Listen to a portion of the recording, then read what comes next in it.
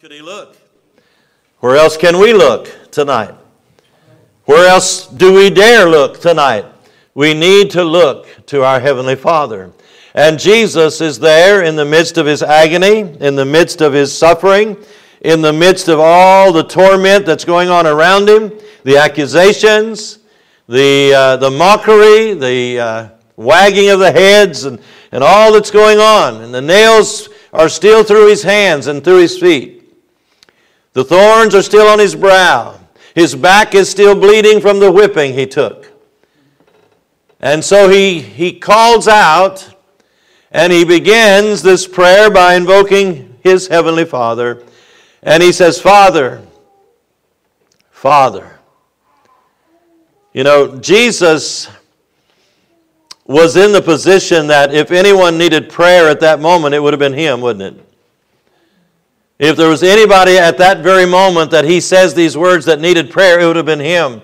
And I'm sure that all of us, if we were in his position, when we would have called out to God, we would have been calling out to God to help us. He didn't mention himself. He says, Father, and he opens up this, uh, this dialogue with God. He's not asking for himself or in behalf of himself, but he's asking for his enemies. He says, Father, and then what does he ask? He invokes the Lord's help, or God the Father's help, and then he says, Forgive them. His petition is that God the Father would forgive his tormentors, his would be murderers. Stop and think about it. Stop and think about it. He's not praying to be delivered from the cross. He's not even praying for a lessening of the agony that he's in. He's not praying that the Lord will ease the pain. He's not praying for vengeance tonight. You and I might have. Lord, give this bunch what they deserve. But you know what Jesus is doing? He's practicing what he preached. He's illustrating to you and to me that what he preached in the Sermon on the Mount is absolutely doable. Under the worst circumstances, under the most trying circumstances, under the most intense suffering, you can still forgive your enemies. Isn't that amazing? Jesus was practicing what he preached. He preached on that sunny hill on the Sermon on the Mount that we were to love your enemies, bless them that curse you, do good to them that hate you, and pray for those who despitefully use you. That's the words of Christ. And that's exactly what he's doing in this prayer. Praise God. Don't you love to have a preacher practice what he preaches? Don't you love to see a Christian practice what they believe? Well, Jesus did. He lived up to his own preaching here. He lived up to his own high standard. Peter said, I, Lord, would it be all right if I just forgive him seven times? And Jesus said, Yeah, something like seven times 70, Peter. And then you're getting close to what you ought to be doing. Forgiveness is an amazing thing. But Jesus was praying. He was praying for them to be forgiven. He was asking God to move that guilt off of them. He's providing a way that they can be saved. Basically, He's providing a way. Now, He's also probably sparing them from maybe instant judgment. I wonder what would have happened on that hillside if Jesus hadn't prayed these few words. If you read through the Bible, and Robert mentioned one of the issue, instances in the Bible, where judgment was immediate. He mentioned Korah. Korah is mentioned in the New Testament as well. He tried to overthrow God's government. He tried to kick God's man to the side and take over what God had called Moses to do. That's a bad thing. But God let the earth split open Remember, God allowed the earth to split open, and Korah and all his household went down into hell, just dropped into hell, friends, because God immediately performed judgment. And that was, that was touching his prophet Moses. Here they're touching his beloved and only begotten Son. I wonder, and again, I could give you a number of instances where God allowed instantaneous judgment. Look at uh, Ananias and Sapphira. I mean, and all they did was lie to the Holy Ghost. That's not all. I'm not saying that to minimize that, but the sin that they committed was lying to God. How many people would drop dead today if God did that? We'd have mass graves. and we'd have churches full of dead people. Because so many people testify to what they don't possess. God help us never to do that. But you're not lying to men, friend, you're lying to God. And He knows it. You can't, you can't hide it from Him. But you think of all the things, even, even moving the ark back, back into Jerusalem. You know, David didn't research it enough. He didn't, he didn't research it to how the ark was supposed to be moved. And he thinks, you know, it's on a nice cart. We'll just continue to take it in on the cart. And the poor man steadied the cart, steadied the ark, because he's afraid it was going to fall off the ark. Uh, the, their roads must have been about as bumpy as some of our interstates. The ark was a rocking on the cart, and he was afraid it was going to fall off. And all he did was put his hand up to steady and he was smitten dead. Not doing it God's way. Over and over and over, Miriam and Aaron were smitten with leprosy, or Miriam was smitten with leprosy.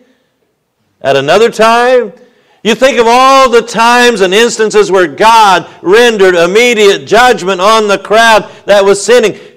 And if there would have ever been a time in the history of God's dealing with man that it would have been appropriate, I think right here would have been appropriate. They lied on him, they falsely accused him, it was a mistrial. They have murdered a man that has been declared innocent by two judges, two Roman judges declared him innocent. And they still crucify him.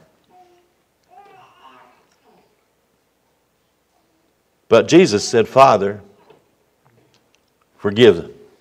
Forgive them. It's an amazing thing to me. You think about all the mockery, the crucifixion, the scourging. You think about everything that was included in, in getting him to this point on the cross. It included the Roman governors, Pilate and Herod. It included the Roman soldiers who actually did the execution.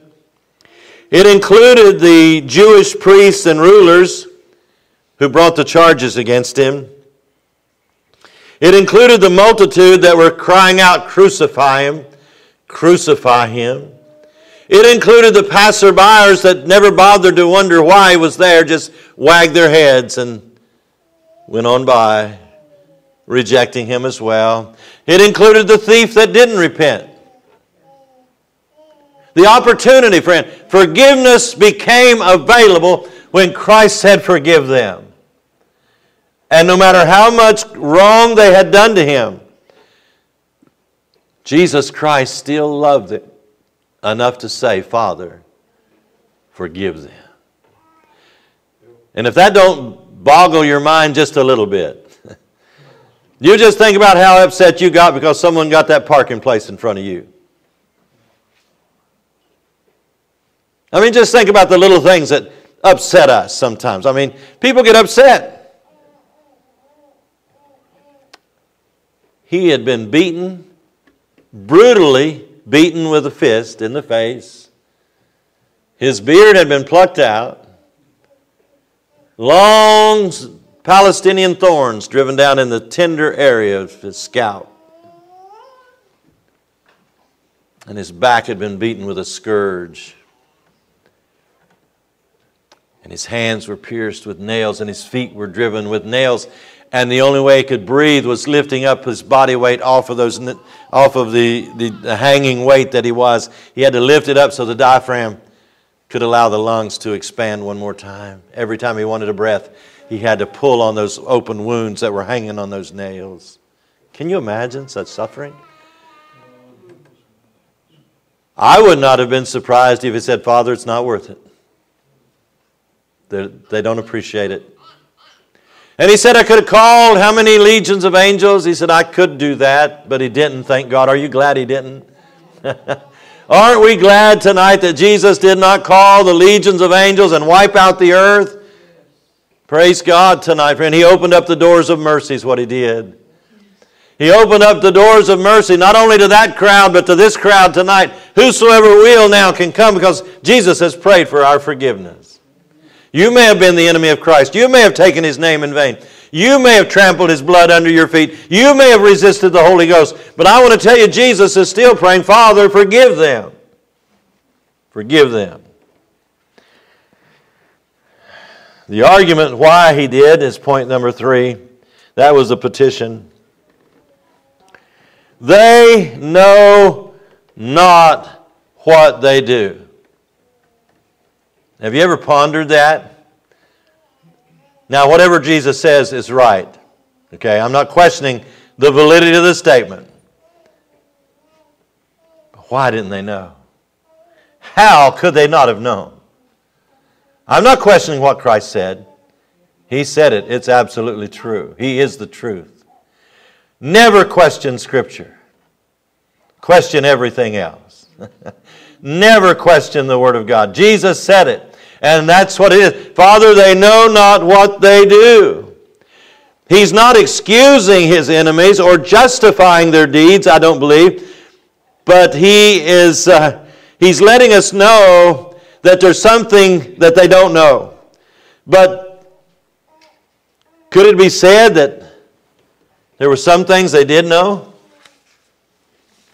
You believe there were some things they did know? They knew they were mistreating a human being. And I think the majority of the crowd knew that they were crucifying an innocent man. I believe they didn't, they knew, they knew that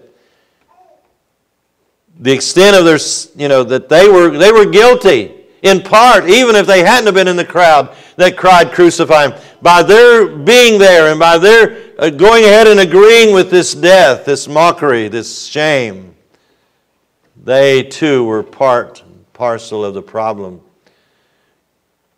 They had the scriptures, they had the prophets.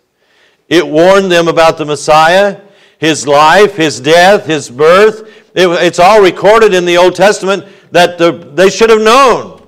They should have recognized him. And then the miracles that he did, they should have recognized no man can do these miracles except God be with him. Right? That was the testimony of some of the people. The, the, the people that were hired to trip him up in his words came back and said, No man ever spake like this man. There's nobody that's ever said words like these. And they're with unction and they're with power and they're with uh, an anointing that the, the, the Pharisees and the scribes, they teach us, but this man teaches with authority. There's something about his words that are different. Praise God. They didn't know everything, but they knew some things, didn't they? They should have known. They should have picked up from the miracles. This is no ordinary man. This is not an ordinary situation. And then Jesus' own words, his teaching. How many of them that were there around the cross that day had actually heard him teach, I don't know. But I, I would imagine that his teachings went far and wide. They were so radical, they were so different from the norm that the people were used to in those days. The teaching of Jesus was so more in depth and so more uh, close and personal. It wasn't abstract stuff. He dealt right down where we were living and gave us the message. But the scripture said, or not the scripture, but there's a, there's a saying that says, None are so blind as those who will not see. You get that? None are so blind but those who will not see. They had shut their eyes to the truth. They refused to accept his testimony. They refused to accept his role as Messiah. They refused to acknowledge him as the Son of God. They refused to, to give credence to his deity and his mission. They refused to do that. So they were, in a sense, they didn't realize what they were doing. That they were cutting off the one and only one that had the key to eternal life. They were hanging on a tree, the only sinless human being that's ever lived or ever will live Jesus Christ. There were some things they should have known, and maybe there were some things they did know, but the very important thing about their never dying soul, it evaded them, it escaped them. They did not get it that he came to give his life a ransom, that whosoever believeth in him should not perish, but have everlasting life. Thank God tonight. Uh, but it's, it's so very, it's so very important tonight that we get a glimpse of who he really is, who he really is, what he's really about. You know, some would look around and said, "Well, was the prayer answered?"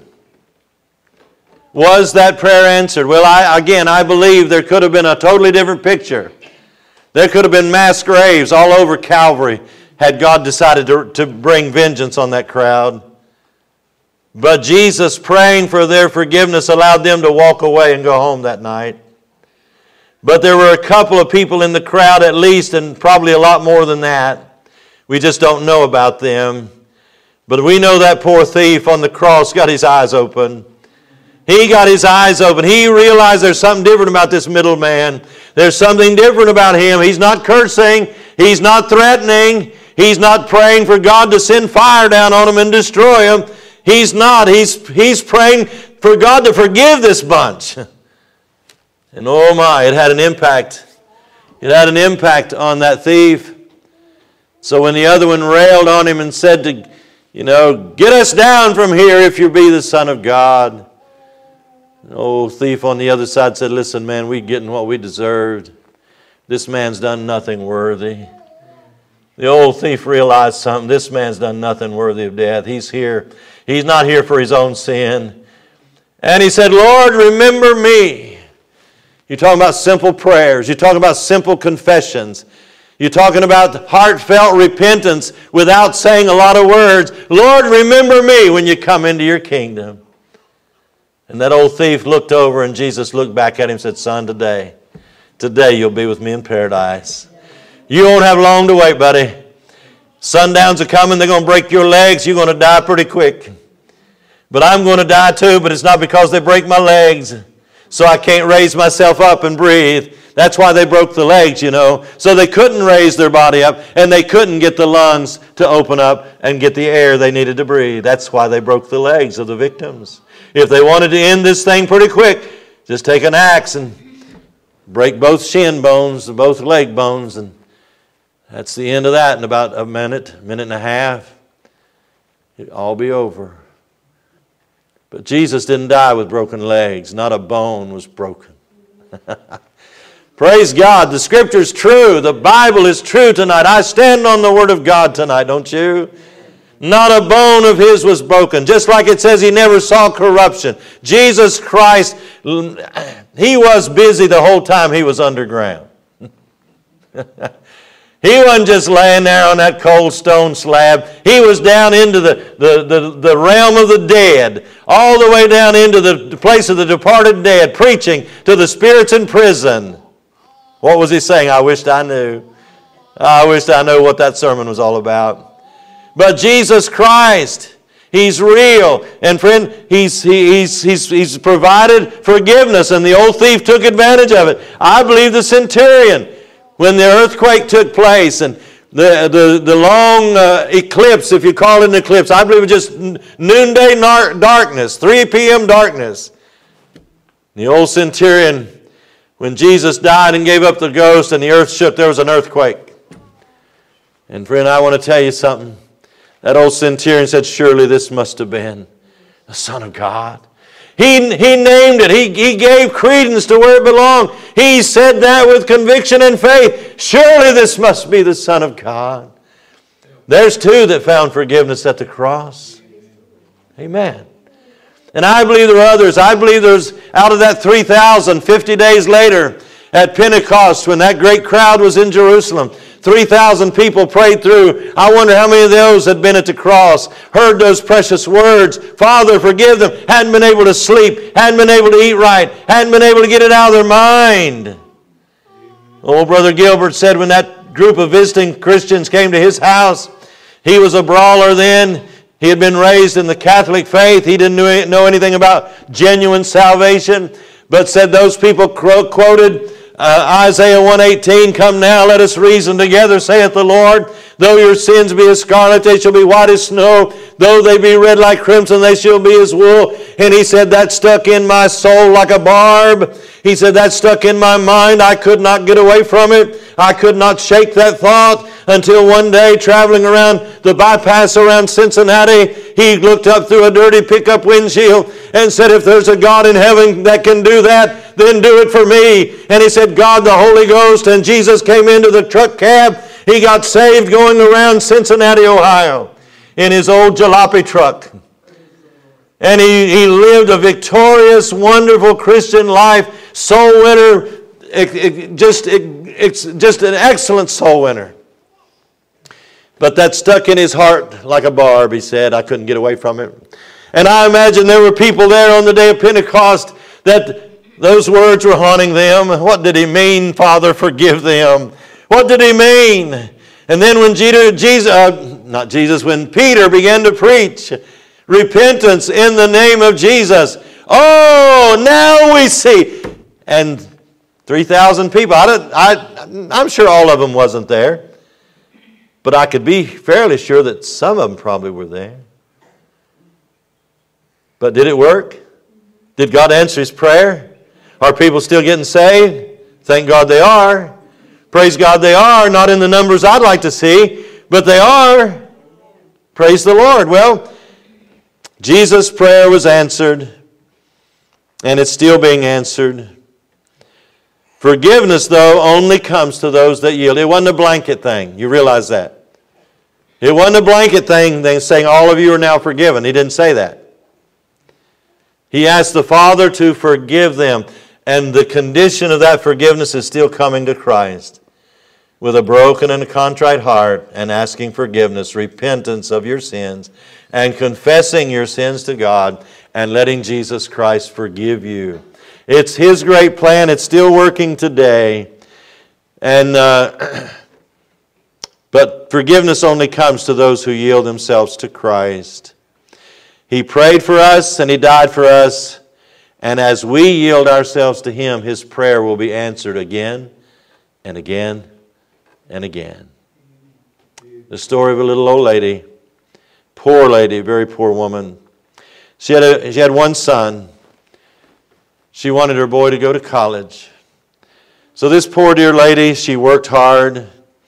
She made money by personal sacrifices, gave up every, every earthly enjoyment herself in order to provide her son the privilege of going to, to college. When the son was to graduate, he wrote his mom, he said, Mom, I want you to come to the graduation. She wrote back, Son, she said, I, I only have two old dresses and they've already been how was it? She said, they've already been turned once. What does that mean, ladies?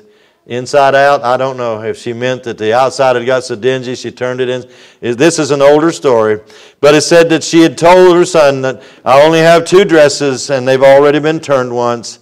And I would have to dress so shabby that I would be a reproach and a shame to you if I come to your graduation. But the boy would not take no for an answer. Came the day for his graduation. He walked down the aisle with his plainly dressed mother, put her in one of the best seats.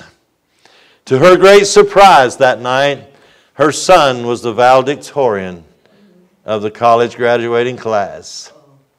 And it says when the awards were given, the honors were given, this son took the prize that was given to him, stepped down, kissed his precious little mother, and said, Here, mother, here is the prize. It's yours. If it had not been for you, I would have never been here. And friend, that's how we got to look at it with Jesus. Lord, all the prize goes to you. All the glory goes to you, Lord. Any awards that we get down here, who does it go to? It goes to Jesus. Praise God, church. You know, he, he deserves all the honor. He deserves all the glory because without His sacrifice, you and I wouldn't amount to a hill of beans. We wouldn't amount to a thing. But I'm so glad tonight He said, Father, Forgive them. They know not what they do. Well, praise the Lord. Anyone got anything on your heart before we change the order of the service?